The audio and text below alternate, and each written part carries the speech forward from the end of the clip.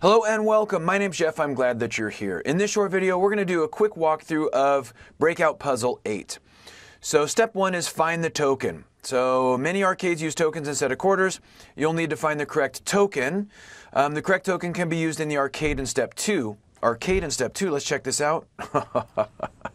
yeah, so depending on, you know, uh, when you grew up. These may bring back some great um, memories, or you might look at these and go, look at those terrible graphics.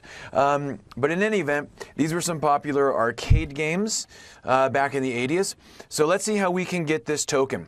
Below is a phone log from the 1980s, so we see a bunch of calls from the 80s, and we see an area code and phone number. Enter the area code that was called the most. Okay, I'm going to go ahead and get an area code column. I'm going to type in the first one, 520. I'm going to use data flash fill to fill that down. And then I'm going to use a pivot table to find the count of these area codes so that way we can determine which one was called the most. Insert pivot table, put it on new sheet, click OK. And here we want to see it by area code, count of the numbers. And let me go ahead and change the sort order to descending.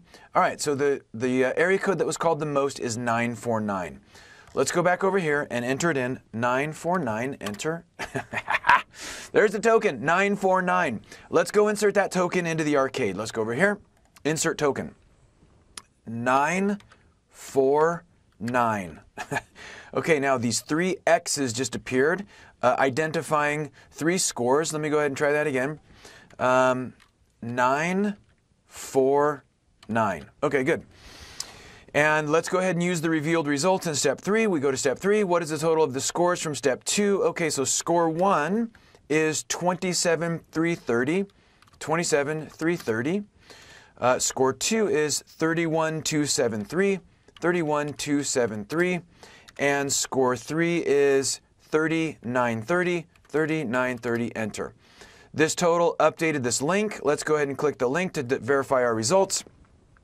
And Yes, congratulations, we did it. All right, so anyway, hey, hope that was fun, and thanks for joining me. Have a great day. This video is a production of Excel University.